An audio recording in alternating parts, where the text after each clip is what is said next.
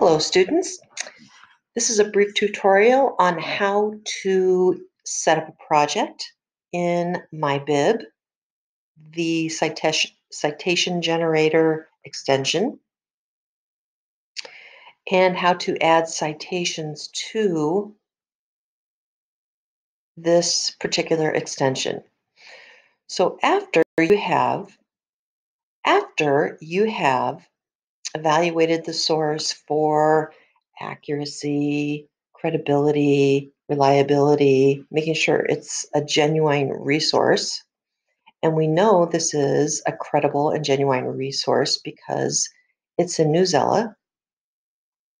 We're going to click on that MyBib extension. And for the first time that you're using this, you need to establish what citation style you are to use, and you're going to scroll down to MLA 8. Tap on that, and you shouldn't have to worry about that again. You will see that the citation in a perfectly formatted citation will appear.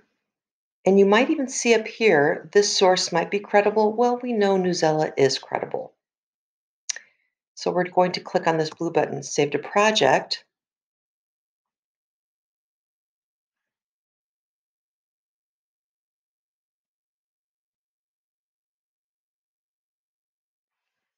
And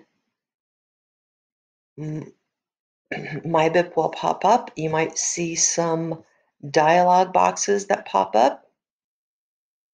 And you might see, awesome, you've created your very first citation. Nicely done. However, if you look up here, you will see that you are not logged on. And this will not save unless you're logged on. So you need to log on.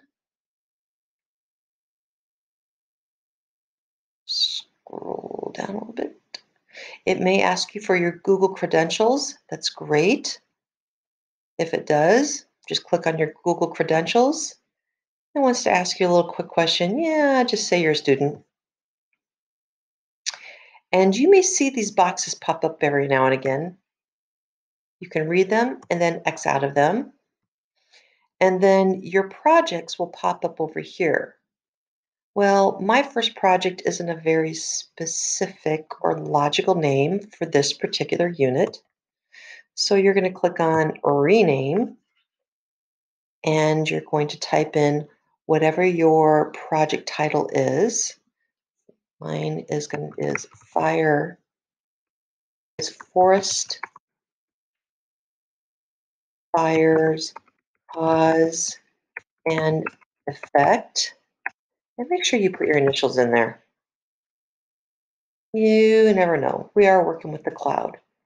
And then everything automatically saves. Now, once you have cited your source, you're going to go back to your website, and this is where you actually start paraphrasing your information. And it's that simple. There's absolutely no reason why you can't give credit where credit is due with MyBib as your citation generator and management system.